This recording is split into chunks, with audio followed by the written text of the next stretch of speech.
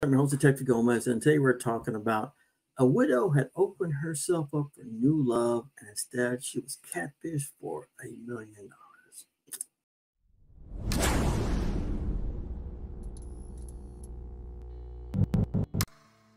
Ladies, I, I, I can't um, keep talking about this, but we're going to talk about this again, okay? Because women, it happens to more women than it does men. Uh, there's one thing where I say that women, you know, women are good about everything. They're good at getting catfished also.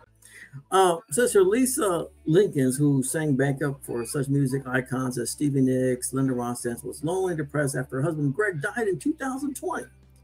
When a handsome blonde-haired man who resembled her husband of 23 years started messaging her on Facebook.